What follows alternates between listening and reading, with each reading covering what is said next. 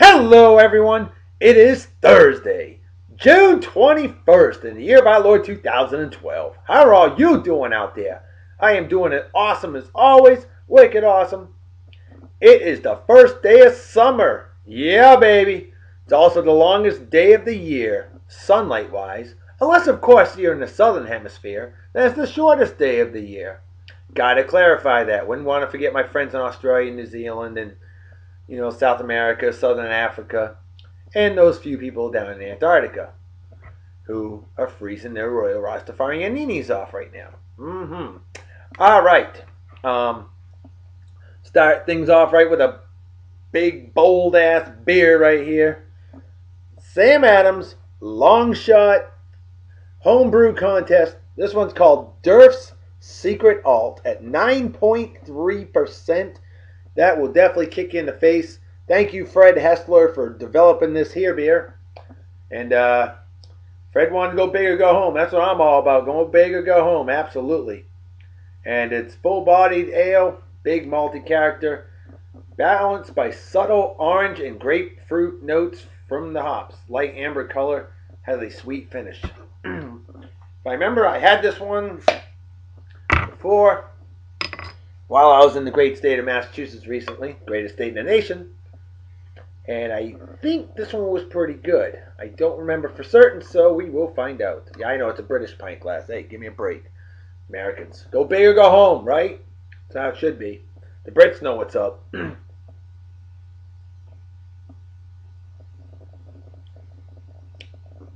oh, that's good. That is really, really good. Yummy. Mmm. Good stuff. All right. How about some birthday shout outs? Let's go right off the bat with my friend Bjorn Warg is Warg is it? Um I, I said that twice. W A R G H. How do you pronounce that? Is it War? Is it Warg?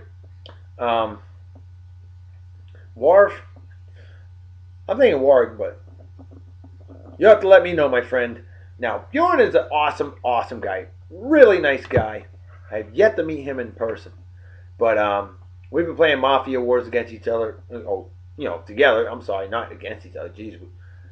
We're, we're fellow partners in the uh, Mafia Wars. The guy's awesome. Real nice guy. I've talked to him a bunch of times. Bjorn, you are truly wicked awesome, my friend. And uh, cheers and beers to you. Let's work on whacking some more bad guys on Mafia Wars, man. Absolutely. Mm. See, I don't give all the members of the Mafia Wars that I play with shout outs. I only give them if I really know them, if I've gotten to know them. And there's a definitely a good handful out there that I have. Hey, a stranger's a friend you haven't yet met. You know, someday just might meet you, Bjorn. That'd be really cool. You seem like a great, great guy. All right, next on the list, my man, the Rosetta Stone, Nate Rosette. What's going on, brother? How you doing? Worked with you in jolly old England. Got to hang out with you in Bible camp last year. That was awesome times. I miss it. Hope you're doing well. I know I'm doing well. Life is definitely good here in Dr. B's hood. Living in Yeehaw, Texas, where men are men, the bulls run scared. That's right. So, uh, hope you're in, enjoying a beer right now. You know me and my beer. I'm all about a good beer, as you can tell. Go big or go home. Dirk's got it right. Mm-mm-mm. All right, next on the list. Here's a lady that's absolutely splendorous, marvelous. I've yet to meet her in person, but we have uh, we played a lot of Farmville together. Now, Julie Silverman, great lady, and uh, we've chatted up a bunch of times. Sorry, I'm not on the old Farmville. I just don't have the time for it. And my computer runs slower than the average brain cell activity of a typical Yankees fan. Real slow. Oh, painful. What's they added so much to Farmville nowadays? My goodness, what happened? Do you still play it? I'm just wondering. But, uh, you know, maybe someday when I got a wicked high speed internet connection and I've got like this super geek computer. Then I can play it. It'll be a lot quicker. Until then, eh. But uh, hope you're doing well. Always a pleasure chatting with you. Great lady. Hope you're celebrating your birthday in style. It's a great day indeed. Next on the list, works with this awesome man in good old Japan, my man Micah Boddicker. What's going on, big man? How you doing? How's life treating you? Hope you're doing well. I know I'm doing well, and uh, life is definitely good. And you still you still with your better half, Chris, right? I haven't heard from you in a while. Hope you are. Um, if not, my apologies, but you two, great young couple. I remember you well, and uh, love to hear from you.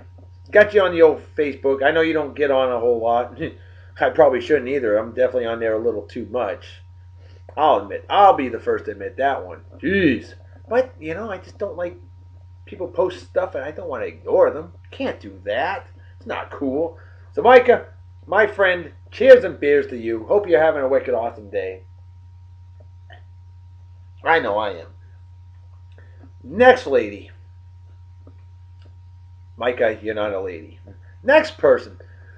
Big happy birthday shout out. I've known this lady since 1979. She was in the opposite kindergarten class from me. My friend Amy Maciel. How you doing? Hope you're doing well. Um, life is definitely good. Amy's like me, folks. Die hard, wicked hardcore New England sports fan. That's cool. Nothing beats having a lady that's a die-hard sports fan, especially when she's representing the home teams. And Amy, you do a phenomenal job with that. Hope you're doing well. Yes, we will play fantasy football again this year. And once again, I'll beat everybody down, or at least attempt to. Because it's fun. I enjoy it. But uh, hope you're doing well. Life is good. And uh, keep in touch. Drop a line. Hope you enjoy the show. Next on the list, my man Ollie, better known as Smoking Canty. What's up, big man? Another great man I worked with in uh, Japan. Phenomenal guy. He used to play the Mafia Wars a lot too, man. I haven't seen you on Facebook a whole lot. Hope you're doing well. Uh, drop me a line. Let me know what you think of the show. Been doing this show since January 17th, so got some catching up to do. Goes for all of you. But yeah, Smoking Canty, you're definitely way cool, man. Always a pleasure hanging out with you drinking the beer skis, talking music. Yeah. See, Smoking Canty's a big music fan like I am. And he likes the death metal, if I'm not mistaken. You know what? I do too, as you know. Yeah, we we definitely uh, talked a lot of good music, and there's a lot of good stuff out there. So, anyway, hope you enjoyed the show. And finally, happy birthday to my man Mark Purdue. What's going on, Shiny? Oh, it was so funny. I'll never forget that. This was in England. Now, Mark was brand new to the job. And my man Mike Robinson and I worked with in jolly old England.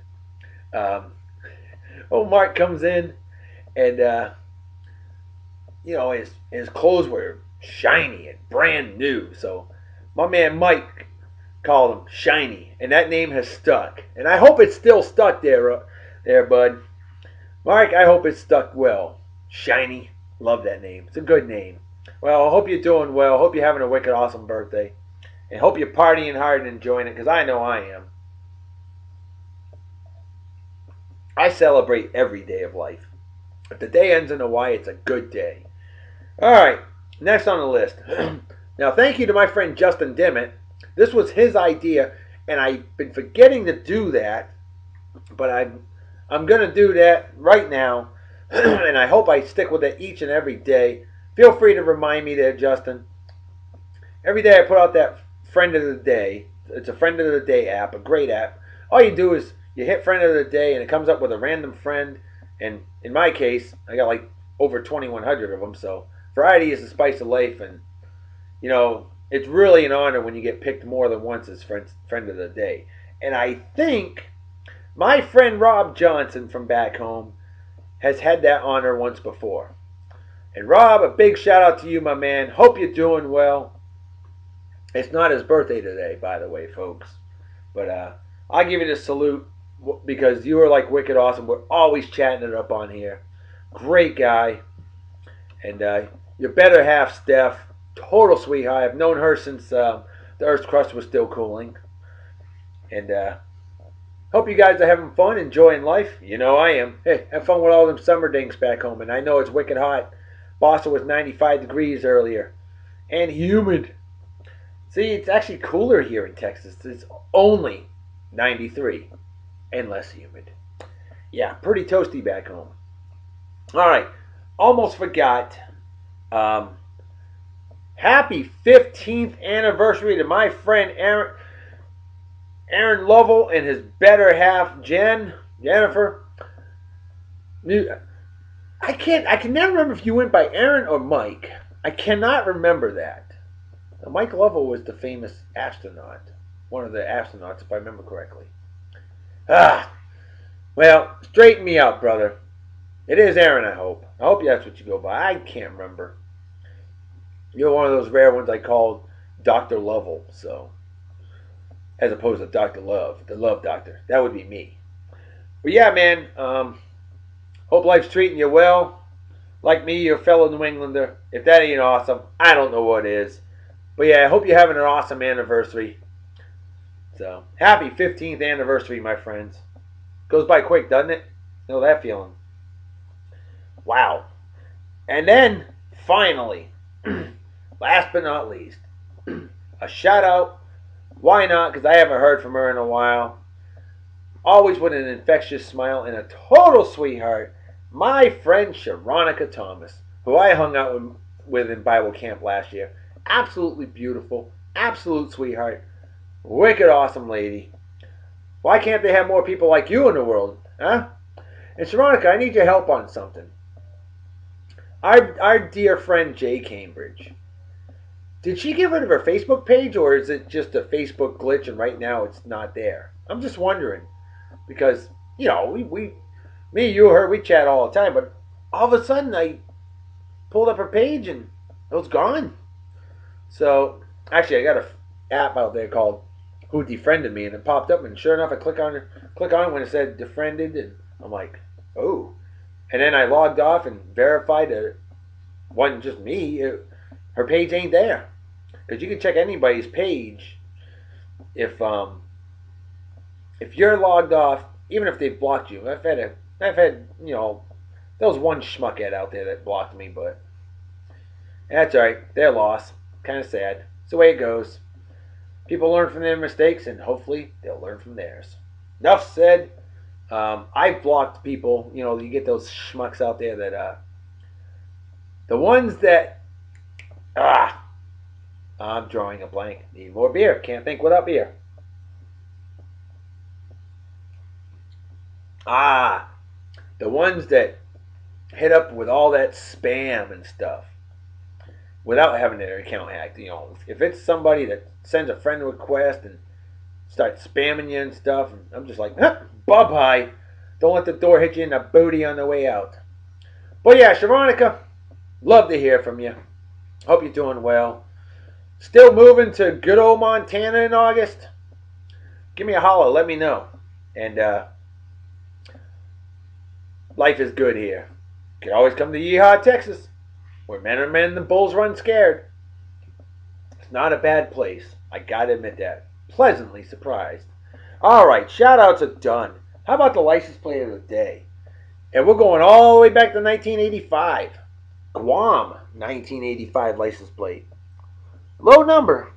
Look at that. Yep, that's an 85 Guam sticker faded. Hub of the Pacific, Guam, USA. I've been to Guam a bunch of times on vacation. It's a great place. It really is. The people are absolutely phenomenal there. It's island life. That's the way it is. I know I'm from Martha's Vineyard Island, Massachusetts, so.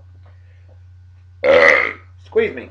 Island life is phenomenal. I thought my daughter was going to come up here and do her picture of the day and all that good stuff, but. Oh well, the way it goes. She's going to miss out. I guarantee as soon as I get downstairs, she'll be sad. Be like, Daddy, I want to get on the show. Well, Delilah, you dilly dallied. I'm on a mission from God and dinner's cooking. I don't know what the love goddess is making for dinner today, but I do know chilaquiles. Chilaquiles last night were absolutely phenomenal. And refried beans and the Mexican rice. Mm, good stuff.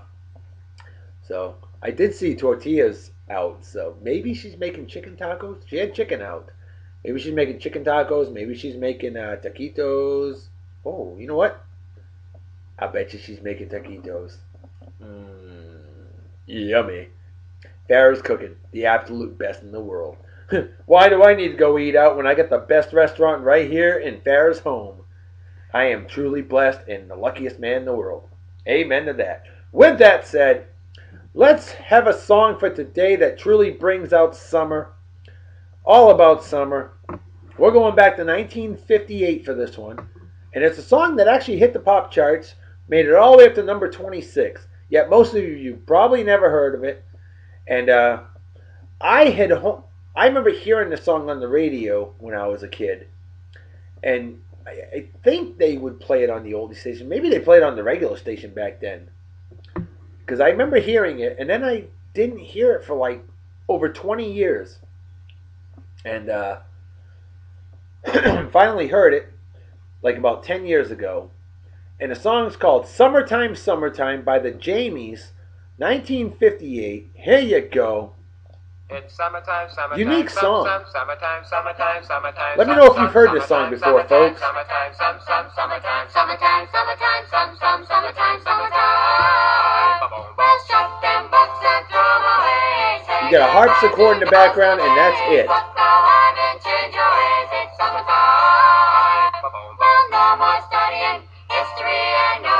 Let's hope we don't have the problems we had yesterday, which we're having. Suddenlink, you're not connected. Suddenlink internet sucks. There's no good internet here in Yeehaw, Texas. At least not in Abilene. I can promise you that. It took 117 minutes to upload my video yesterday. When I was back home on leave from my job, it took 10 minutes at most. It's pissing me off. Well, Epic Records 5-9565. It was on a 45 RPM record, small record. Yeah, small. Not that small, but you know. Oh, if you may not know if you're a kid. Um, lead singers Tom and Serena Jameson. Kind of unique thing on this I just read. One of the members of the Jamies was uh, Sherman Feller, who later became a public address announcer for the beloved Boston Red Sox at Fenway Park. How's that? If that ain't awesome, I definitely don't know what is.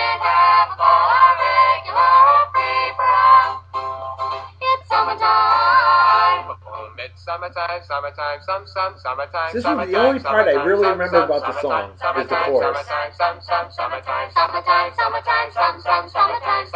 I never forgot that. It's summertime. But I never knew who the group was until I did some research about 10 years ago when I heard the song and I started looking. And sure enough, I was like, cool, the Jamies. Which ironically, my brother's name is Jamie, spelled differently. But yep, so there you have it, my friends. Song of the day is completed. Beer of the day. Um, license plate of the day. Random fact of the day. Hmm. Um, did you know that 65 years ago today, how ironic is this? I'm glad I just remembered it. Michael Gross and Meredith Baxter, formerly known as Meredith Baxter Birney. If you don't know who those two are, sad. How about the show Family Ties that ran from 1982 to 1990? You familiar with that show? Michael J. Fox, Tina Yothers, uh, Justine Bateman with the three kids, and then they ended up having uh, Benji Gregory later on, if I remember correctly. Or was he? No, Brian Benji Gregory. No, that was um. Oh, it was Brian Bonsall. Never mind. Benji Gregory was um, Brian the kid on Alf. I love that show. I have every episode ever made, all four seasons. But yeah, Family Ties. Um, the ironic thing is, the parents, Michael Gross and um, Meredith Baxter Birney at the time. Um, God, what were their names? Steve and Elise. That's right. Steve and Elise. And uh, they they they were both born June twenty first, nineteen forty seven. That's pretty sweet. How rare is that? and they played as the parents on Family Ties for eight strong seasons. It was a great show, and I miss it. I should get those box sets if they're out. Love that show and the Cosby Show. Used to watch that every Thursday night. NBC, Channel 10 it was back home. Providence, Rhode Island station. Yep, re- watched it religiously. All right, folks. Well, it is time to make like a fetus and head out. So everybody, take care. Have a wicked awesome night and day. Peace be the journey. Don't do anything I wouldn't do. Don't drink and drive. You might spill your drink, or you might kill yourself or somebody else. And drinking and driving is dumber than being a Yankees fan. And what's dumber than that is rooting for scumbags like Eli, I'm as good as Tom Brady, Manning, or men slapping women. Things like that are just plain stupid. Speaking of stupid, I think it's stupid about the fact that it looks like the Heat are going to win their second championship. And LeBron's going to get his ring. It sucks. I've been pulling for OKC. It seems like whoever I root for loses these days. What the hell? Do I really have to start rooting for the Yankees, the Lakers, the uh, Montreal Canadiens, and the uh, New York Jets so that I put the curse on them and they lose? What the hell? Ugh, that sucks. Well, I'm rooting for OKC anyway. I cannot bring myself to root for LeBron James, who used to be really cool, but then his head grew to the size of my hat and can't fit through the door anymore. Schmuck. So, go Thunder. Please, please, please, please win Thunder. I don't want to see you get eliminated. I don't want to see LeBron get his first title. Screw that. uh-uh. Screw him with a big wooden tallywhacker so he gets splinters. That's how I feel.